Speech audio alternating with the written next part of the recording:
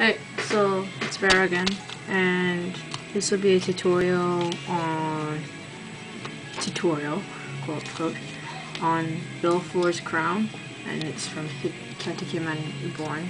I'm doing the 10 years earlier version. Uh, materials you, the method I'm using is exactly the same, except for like slight differences from Foxtail's. So if you want to see the original process, you can actually check out Foxtail. He's somewhere on YouTube. He did really cool Xanxus and Belphegor cosplay too. Um, the materials you will need. One, you definitely want reference. Reference is always good. You should have that to go by. Scrap paper so you can do all your measurements and your calculations. This is literally scrap, and this is where I did my template of the crown. Uh, I'm using glue gun as a filler, just like uh, Foxtail is. So glue gun, and of course the little refill sticks that go along with it. You also need a pair of scissors at the end to cut. And this is where it um, becomes different the stuff I'm using is a clear folder. I just got this off of a hotel chain or something. It's pretty cheap. It's durable stuff. So, let's see. Um, how I, and of course you headband. Forgot about that. This is a pink one. It's wrapped in ribbon. I probably won't use this because it's thick long here. But if I can't find anything else, then I'll use that one. Uh, of course, I'll take off the ribbon first. Uh, measure for measuring purposes, I can't really tell you how I did it. Um, I can say that you definitely want to find a headband that fits you first, or fits the person you're making it for. I just chose a small one because she can just kind of stretch it out. It's for a friend. Uh, I'm looking at you, Cookie. Yeah, it's for you. So, what I did was I folded the paper in half. Found the middle of the headband on the side. And using my cousin's head as a scale, I tested out how much of the crown I actually wanted on the by the headband. And some people, they do the entire length of the headband, the crown along the entire length of the headband. You can do that, but I just find the crown looks really big when you do that. So I actually spent like a couple minutes trying to scale the crown. So I took strips of paper, I cut them to different sizes, I taped them on the headband, and then I, using my imagination, I kind of guessed how big the crown would be on the head. And my final calculations and uh, by using simple algebra and mathematics. In other words, I measured out the reference picture, scaled it out, and then enlarged it on my paper. The bottom across I have for my measurements is 20 from end to end and 6 up and down. Of course, you can go bigger, you can go smaller. It just happens to be that my face happens to be a tad bit narrower. I have a longer face so I based it on that. You don't, if you're using a clear folder, you don't have to cut the template out.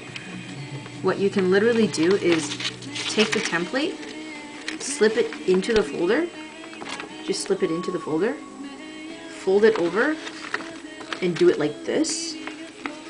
Uh, for safe measure, if you don't want the template moving or anything, tape it into place or you can take a pen and just lightly trace it out. I did both, and just because I'm paranoid. Um, you definitely want to cover your workspace because it could get messy. Uh, bit of warning if you're using a clear folder. It is plastic. My glue gun is pretty cheap. Even though it says high temp, it doesn't actually get that hot. So I actually have to wait like a long time for the glue to come out and then when the glue comes out it's actually not that melted. Some of the glue guns are really good quality. They were really hot. If you touch the tip to the plastic, there's a chance the plastic case can actually warp or melt. Uh, you can try take a gamble with it. I know for a fact that my glue gun's not that hot, and the plastic I'm using is actually pretty good durable stuff.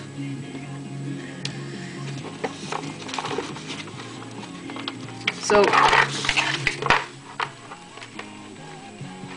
I can't really show the process because I finished it earlier on this morning. It's like noon now, so it's hard. But what I did was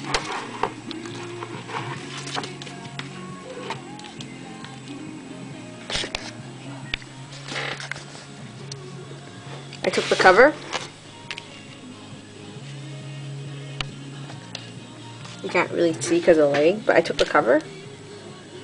I placed it on top of the template and took a pen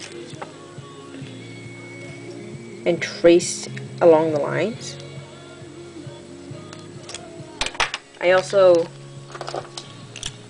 taped down the template to the paper in the back so it didn't move when I was gluing it. And after that, I just simply took the glue gun and I glued along the lines, filling up in the center.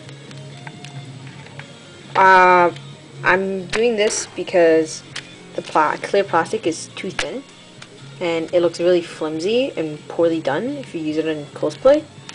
So the only reason why I'm using the glue gun on it is because I want it to be more durable and thicker so it looks better in photos. That's pretty much it.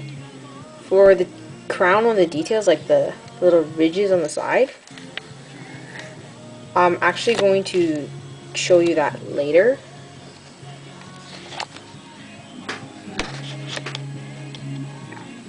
So I glued and glued and glued and glued and my final product is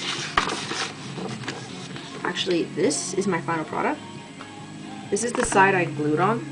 It's really dirty, it's sloppily, it's really sloppy. Like you can see the work I did, it's really sloppy. But this is the side that's going to be on the inside. I'm not using this side, actually. This is just to make it thicker.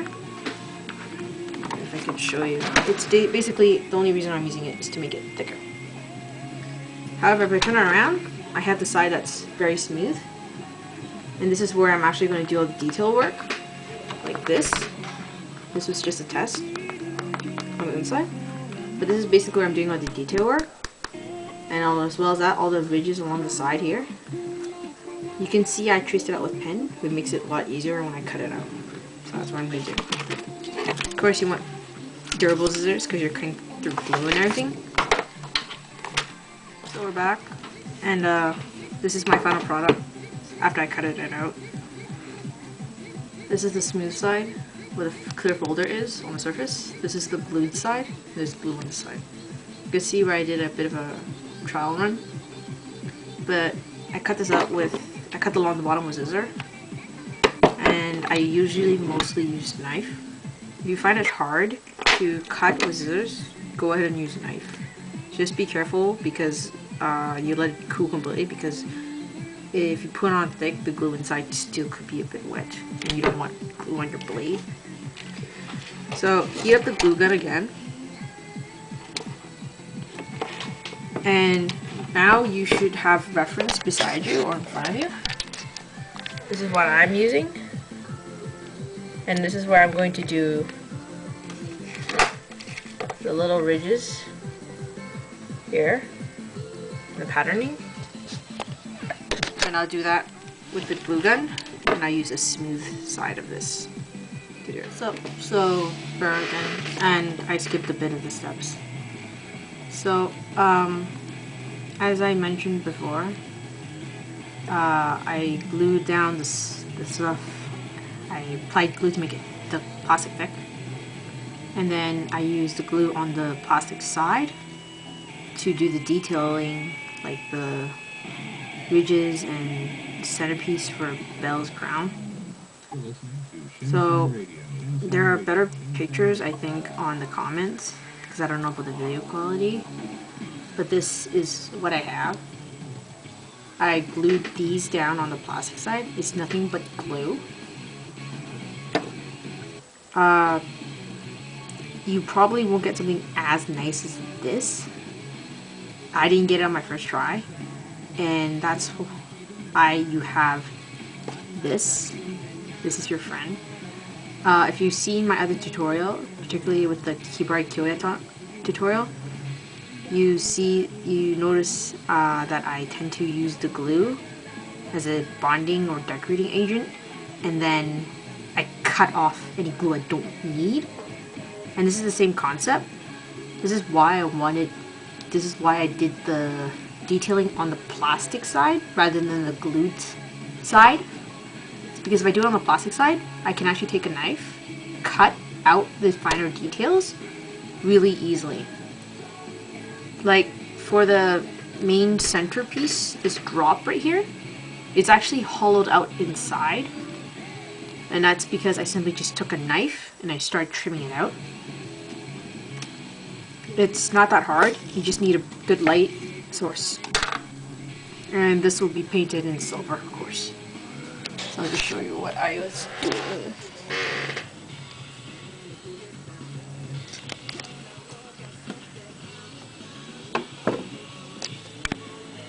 So this piece right here, it's a bit lopsided. So I would probably just trim it down. Take my nail and pick up the other excess pieces. Like that. And I did it for the entire thing. I did for this. Drop in the center here. I also did it for the little diamond on the top, as well as this little curve. I'm going to do it for the rest of the curves, and all the little other curves down the side. I already trimmed down the excess for the side ridges, and I recommend you get a really, really sharp knife for this, because dull knives are in general are pretty dangerous uh, a sharper knife is less dangerous than a dull knife when you're using it, so get a sharper knife when you do this. I actually sharpened my old one, my old scalpel blade, but I still found it wasn't sharp enough for this job because the glue is tacky and I need a clean cut against the glue. So I actually took a new blade out.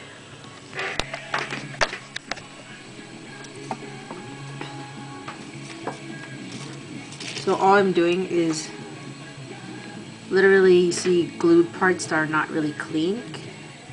I'm just cutting it out. Uh, you don't have to do this if you don't want to. It's just detail. I'm a detail-oriented person, so you find that I do a lot of detail for my stuff.